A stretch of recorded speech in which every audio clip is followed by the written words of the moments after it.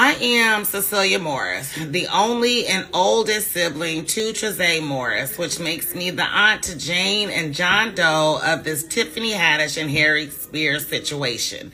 I have no relationship with Trizah or her children, and I am the only one of our family that has seen all five kids together. That was in 2008. In 2018, I did see Trizah and the two middle boys at her residence in Las Vegas it was not a pleasant experience. The reason why our entire family does not have a relationship with Trizah's children is because she chose to isolate them from us.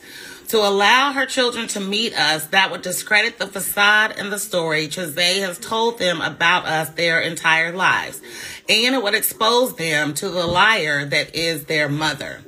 In this video, you will hear me refer to my niece and nephew as little girl or little boy because that is what they are to me since we have no familial relationship. To the internet trolls, cyber bullies, and keyboard warriors, watch this video in its entirety before you make judgments or assumptions and try to drag me like you know me because you don't. I had no idea any of this mess with Tiffany Haddish and Aries Spears was going on until people who know my sister and I brought it to my attention on September 6, 2022. The only reason I'm speaking out is because the world is dragging Tiffany Haddish and Aries Spears, and I'm not 100% convinced things went down like the kids say that it did. I know my sister, and this time she has gone too far. I need you to quit trying to present Trizah as this mother that was duped by her friend. That's not how this went down. Trizah duped Tiffany Haddish in order to become Tiffany's friend. Trizah has created her own narrative to fit a life she wanted to create for herself. If you don't know by now, Trizah was not an orphan. She has family and she chose to be homeless and she is not the downtrodden, depraved mother the media is portraying her as. Please don't believe the hype. Trizah was never in foster care, and she knew both of our parents until the time of their passing in 2018 at 80 and 81 years old. My sister does not have any certifiable mental issues, and to say she does is doing a disservice to those that do. Now, as for the Tiffany Haddish Aries Spears situation, the video is vile, disgusting, and in poor taste. If the goal was to deliver a PSA message about familial abuse, they terribly missed the mark, and I am genuinely and truly saddened by this entire situation. Now, I do believe that the little boy may be traumatized by the video getting out and all the comments flying around. But before all this, I'm just not so sure. I'm not even 100% sure Trizah wasn't aware of the video content. I wouldn't be surprised if Trizah approved the video with the expressed intentions of running game after the fact because that's how our mind works. While that still doesn't excuse Trizah or the actions of the other adults involved in the video, including those behind the scenes, I think it's a big leap to go from that video to turning Tiffany Haddish and Aries Spears into child molesters and pedophile groomers without any proof even to imply that because a video has surfaced of Aries Spears kissing a grown ass man and using that as proof he has a predilection towards young boys is not only inappropriate at best, it is deplorable at its worst. There is no direct correlation between same sex consensual adult relationships and child molestation or pedophilia. I'm sure the LGBTQ plus plus plus community will agree with me on that. Again, the video of the little boy is deplorable, distasteful, and horrific. And whatever reciprocity the legal system deems is due to my nephew as a result of the production of this video is rightly owed to him. And if it is found that he was molested in the process of making this video or at any time by the defendants, let the gavel of justice rain down and give them the holy hell they so rightly deserve. Now let's address the little girl's incident. Why is this coming out now? At any time since she's been an adult, my niece could have told the courts what happened to her and her brother. I personally think she hadn't yet been properly groomed by Trizah to take this on. This is major for a 22 year old to carry on her shoulders. For me, just for me. I find it hard to believe this little girl who is baby number four by daddy number four This little girl, whose mother is a raunchy comic with her raunchiness online for the world to see. This little girl, who has most likely witnessed the abuse of her mother and may have been homeless at some point in her life. This same little girl is so traumatized by Tiffany and Ari showing her how to eat a sub seductively, allegedly, if it happened, that she can't trust anybody. I'm sorry, y'all, but get the fuck out of here and miss me with that bullshit.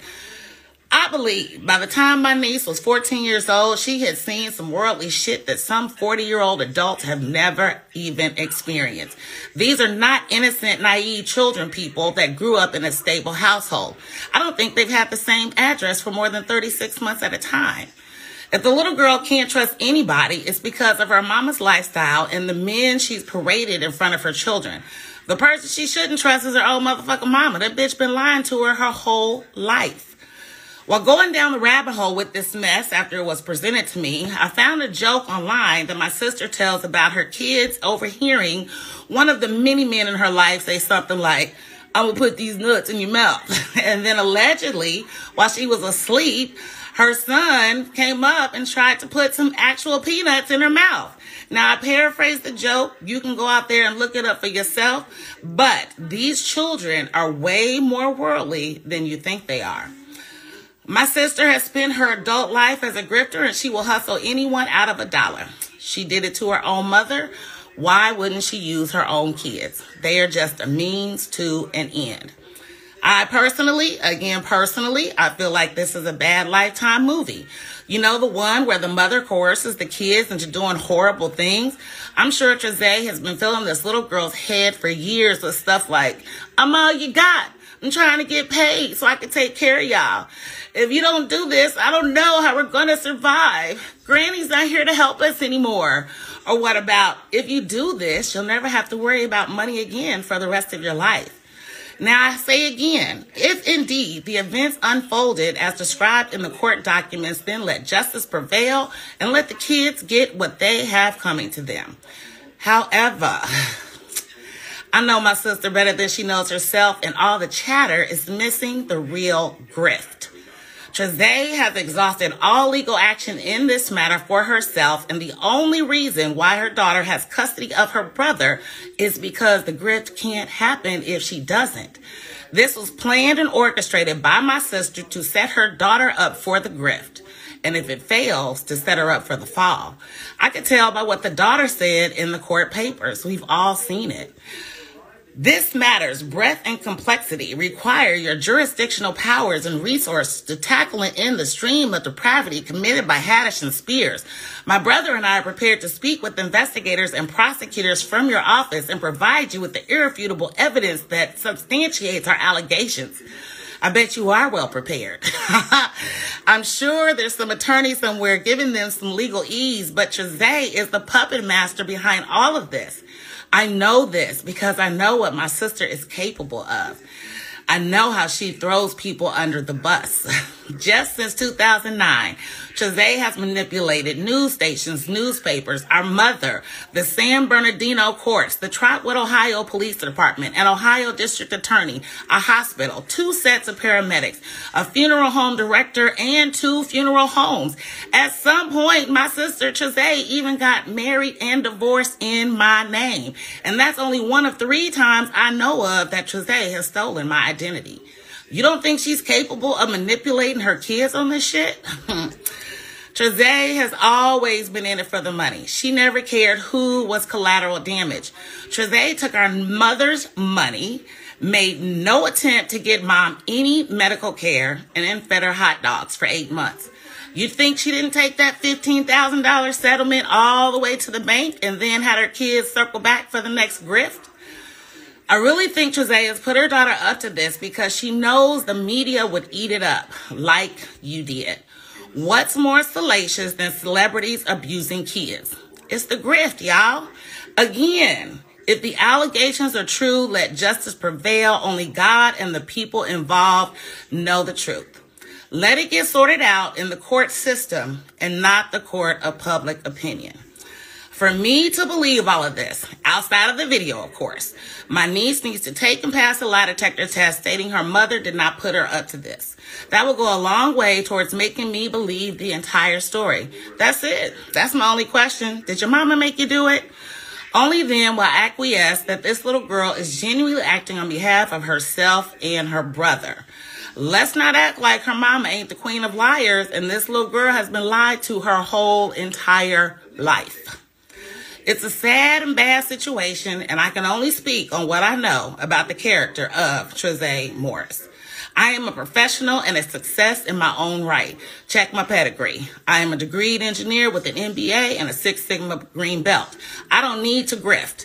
If you want to know more about this hideous family drama, message me at familydrama at takingchargeinc.com and I will send you three chapters of my book, Family Can't pick them, Can't kill them. Better Off without them for $10. Yes, I have a book and yes, I'm charging for the preview. This book has been done and on my hard drive for over five years. It will be released in six months or less. I wrote it as a way to deal with our mother's death and to reach my niece and nephews to let them know I am not the monster Trizah says I am. Among other things, Trizah has convinced them that I killed their grandmother. She's literally said in my presence in front of her children, she killed Granny. When legally, our mom was under Trizah's care at the time of her death. During that incident, her second son accosted me and I had to be escorted away from her residence. I've sat on this book for five years because more therapeutic than anything. And my therapist said the people that need to read it would never see it. But now the whole story needs to be told, and Trizah needs to be exposed for the truly selfish person she is involving her kids in this grift. I could very easily stay in the background because I know I am opening myself up to the internet trolls, cyber bullies, and keyboard warriors of the world that are going to try to bring a lot of heat my way. But to quote Rosa Parks, you must never be fearful about what you're doing when it's right. As I said at the start of this video, I'm only speaking out because this time my sister has gone too far.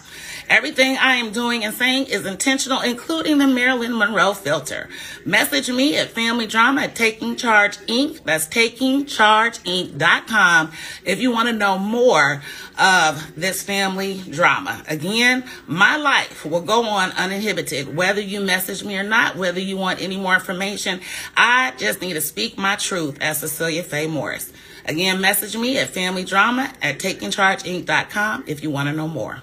Thank you for watching.